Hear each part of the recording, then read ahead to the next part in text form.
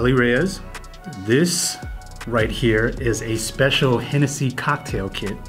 Now, you see the vibrant colors. It's actually a collaboration between Felipe Pantone Okay. and Hennessy. He went for a more futuristic look, you know, remixing the present. Feel free to unbox this. I don't know what's inside. I am anxiously anticipating that it is going to be very elegant. Here we go. Okay. Oh, Let's let's walk through each item. skewers, fruits, Okay. heart tea. Ellie, do you have any experience in making cocktails? I do. Just plain and simple cocktails, nothing crazy. Okay. Um, candied ginger, that's yummy. wow. Lemon. Wow, this is uh, this is very fancy. Lemon. Mm. Hella bitters ginger. Okay. Grenadine. The yummy stuff. French ginger, the core. Fancy, fancy. And I think very special cognac. Well, there you guys have it. Here's all the ingredients to make Ferg's signature drink, the Dimensional. Now, Ferg and I did try this drink off camera at ComplexCon. Delicious, very solid drink.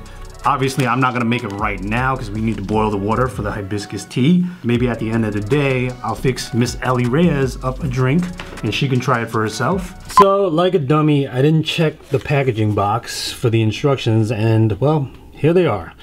Here's the inventory checklist. Take a screenshot of that. Boom. And then here is the instructions on how to make the signature drink the dimensional. I'll get a closer shot for you guys right here. So take a screenshot of that and then enjoy the cocktail. That's all for now. I like how colorful it is. I don't think I've ever seen a Hennessy bottle with so much color on the packaging. Mhm. Um, so that's different. All right. Well, there you guys have it. Back to work. Dan Life.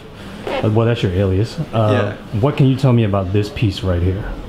So this is my Air Jordan 1 Travis Scott sculpture. It takes five months for me to finish the piece. Has over 143,000 Swarovski crystals, chatons that are hand set one by one into resin. You do not want to be known as a bedazzler. No, definitely not. Okay, what's a proper title to give you? Uh, I'm an artist, and crystal is my medium.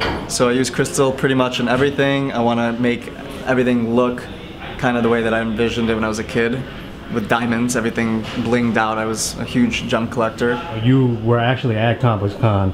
What was the reception like uh, when, I guess, the general public saw some of your pieces? Yeah, it was crazy. So I think one of the biggest reactions that we got was they were like so happy that they got to see it in person after seeing it online before. Because in mm-hmm. person it's totally different. It like opens up your mind. Like people were staring at this for like like half an hour almost. It was it was pretty cool. It was it was really why we did Complex Con was to show to bring these guys and to like show everybody in person because I want the world to see these pieces. I think that my work kind of makes people think and, and conceptualize other ideas and that's kind of like what my my goal is as an artist. Now, has any corporate entities or like celebrities hit you up about inquiring about some of your pieces? Yeah, all the time. Um, I can't name who owns them on don't camera, but um, yeah, a lot of companies, CEOs, royal families, um,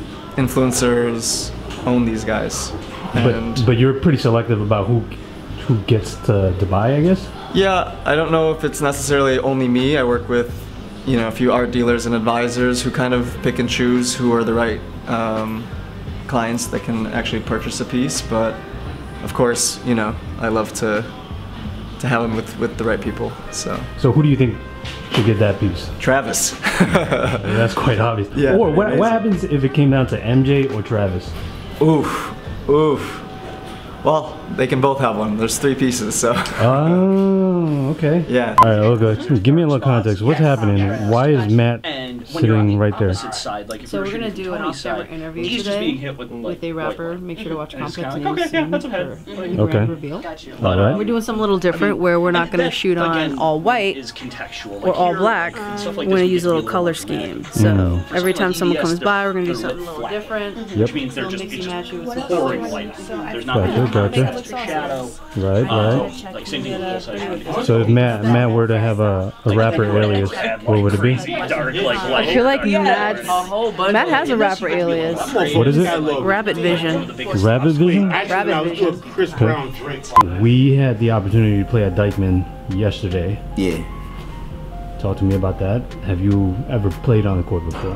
Have I ever played on a basketball court? On Dyckman's. On Dyckman's court? Yeah. Nah, I never played. I shot over there. I shot over same there though. thing. It was the first time for me too. Yeah, I shot over there a few times, like, cause I, I did like music videos for some of my artists up there and shit. But yeah, I, I never played up there before. Right now, I think for this generation, it's the hot spot. Like before, it was Rucker. Mm-hmm. You know what I mean? And it's also you got Tri-State. You got Tri-State, which is like 145th and Lenox. They had a like they had their time. Rucker had his time. that was Dyckman's time, and it's been Dyckman's time. They've been on a run for like the past like four or five years now. How did that even come about? Why did it all of a sudden switch from the Rucker to? Because like I mean things and momentum changes. So it's like when like the Rucker, like rest in peace to my man Greg, he was like the dude who ran the Rucker, you know what I mean? Like um he he had it going. Like that that year KD went there, you know what I mean, and dropped I remember Kyrie and Tyreke Evans, they both came to the Rucker around that time, like 2013. I was a brand ambassador for Reebok at the time. Reebok had the tournament, like they were sponsoring it. It had good momentum, but like it just shifts sometimes. I think the thing with Dyckman, it was more of the the atmosphere, the, the neighborhood was growing. Like La Marina started popping, so like the bat, the ball players knew like, all right, after we play ball, we gonna go go out to eat, go get some drinks, go chill, and it's just an ill ass environment. Where like Rucker, it's like it's not the same. Both of them is right across the street from the projects, but like Rucker is not as many hot spots around that area. So mm. Dyckman is just like easy to like segue into other things. You know what I'm saying? But yeah, Dyckman got it, and then Nike jumped in. You know what I mean? Nike seen the momentum, they jumped in. It was dope. I want to see Lamelo go up there. Ooh. I want to see Lamelo go up there. I feel like he could hold his own. I feel like he could hold his own up there. What, what about LiAngelo? I don't know about LiAngelo, man. I don't know. But but see, the thing about them is they all used to playing in like hostile environments. Dyckman, I don't think they've ever played. no, it- man. Well, Melo like- playing Drew League, bro. Drew League. First off, Drew League is in the hood. You ever been to a Drew League game? No, I never been to the Drew League game, but one of my homies, like his man, like helped start it. But the thing about the Drew League game is, what, what you don't know is like when you go to the Drew League game, you in the hood. Not only you in the hood, you in there with gangbangers from every type of part of LA. So it's a hostile environment. Like it's, it's the streets. You know what I'm saying? Like if you don't know how to handle yourself there, then you can't handle yourself anywhere. So I feel like like if Dyckman, if you could play ball in Dyckman or Rucker or any places in New York, you could play ball anywhere. Same as is is Drew League. Like if you could go to Drew League and do your thing, you could do your thing in Dyckman. You know what I mean? Because it's the same environment. Fun fact, that's where Rick Ross was sitting for the Complex News video. Just days ago. Yes. But we're here to talk about another show that is coming up. Today's Wednesday, tomorrow's Thursday, which means Full size runtime. 6 p.m. Eastern. The penultimate episode of the season. uh-oh. Well, you know might as well just drop the Penultimate. name. Look it up, y'all. That means second to last. That's right. E E40. E40. Mm-hmm. Are you allowed to say that? Even though For this, you? this episode goes live before. Um, Oh, it's too late. I'm not going to edit out. So, I guess it is E40. world premiere. Okay. That's it. That's the outro.